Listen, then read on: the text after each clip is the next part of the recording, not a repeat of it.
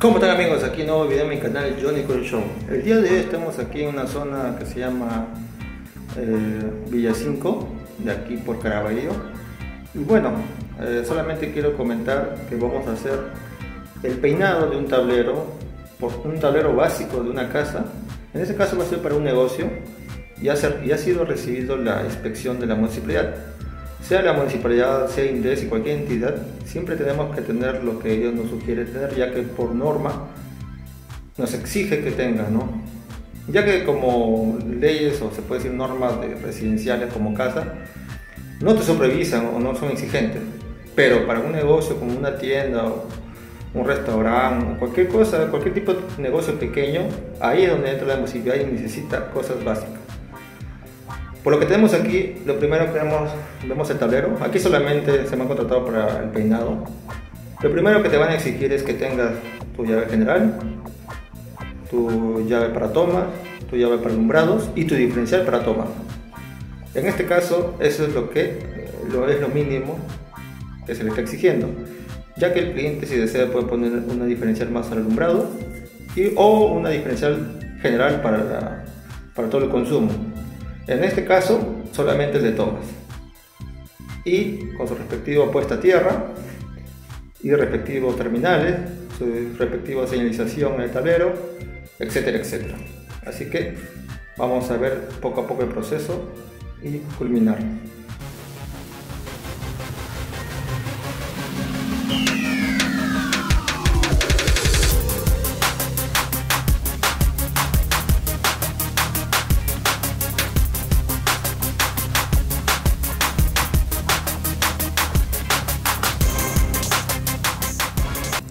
Bueno amigos, como les expliqué hace rato, vamos a iniciar con el peinado.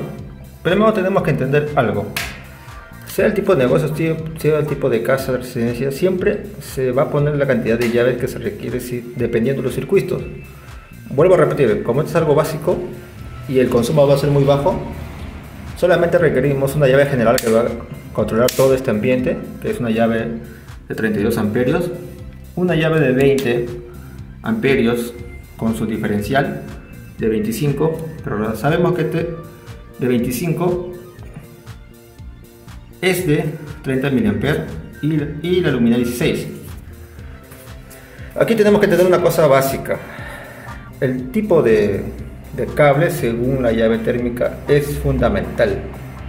Estos cables que les voy a enseñar son de 12 más tierra, son para una llave de 20 amperios con su diferencial y este cable 14 pues bueno es 2.5 milímetros más o menos es para la llave 16 aquí hubo un tema.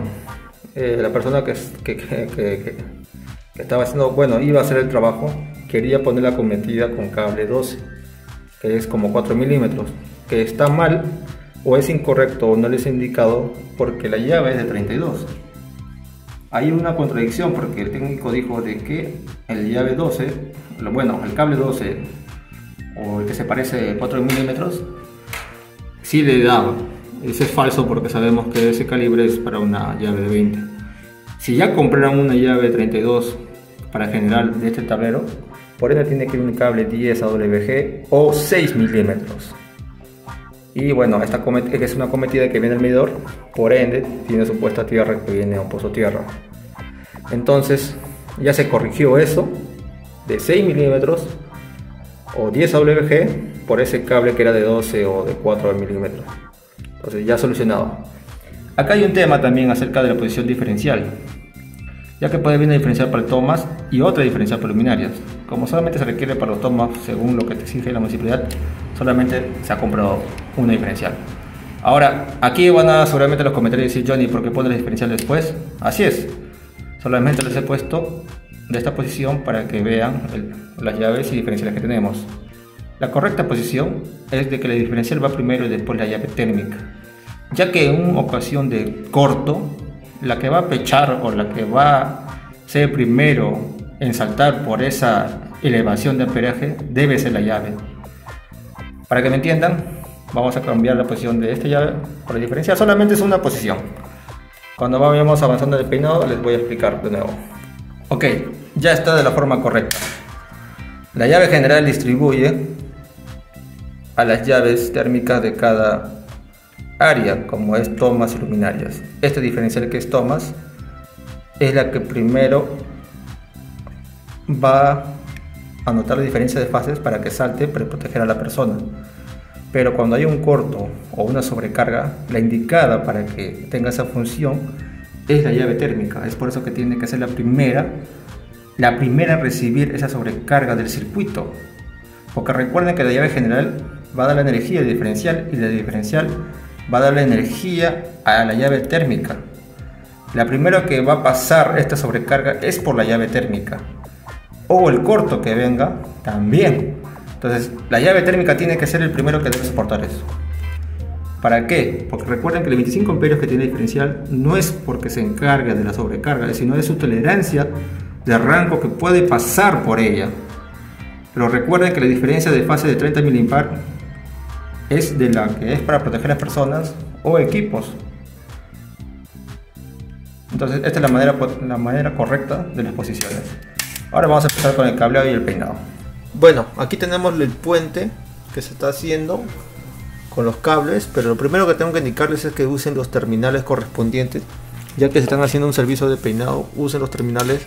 Aquí yo tengo el, para lo que es, ahí tengo mi prensa, tengo terminales para cable 10, 12, 14 todas las puntas tienen que estar aisladas para que se tenga una buena acabado bueno aquí está nuevamente la general. Ya aquí está acabado el cableado. Los puentes como verán en la parte superior. La parte inferior también tiene sus terminales como ven. Y también tiene terminales la puesta tierra. El pozo tierra está conectado a la bornera con la puesta tierra de los tomacorrientes. Así debe quedar como se aprecia. Aquí voy a explicar brevemente. Aquí vamos a hacer el testeado de la diferencial, todo ok. La llave general distribuye a la llave térmica de alumbrado y al circuito de alumbrado. Como ven ahí, ahí están las dos luminarias. bueno, el cliente le va a poner su foco. Y acá está la diferencia, estamos probando que estaba ok de los tomocorrientes que están ahí. Entonces, y tenía que tener su sticker de, de riesgo eléctrico, tanto como sus indicadores o stickers que dice de cada uno, interruptor general, interruptor diferencial, toma corriente y alumbrado. Así debe quedar. Y por último amigos, antes de que digan a la llave 30, del medidor viene la capacidad de 50 amperios y su llave que mismo pone la central eléctrica es su llave de 50 amperios como ven. Así que todo concuerda, todo está como, debes, como debe ser. Cerramos aquí y se acabó.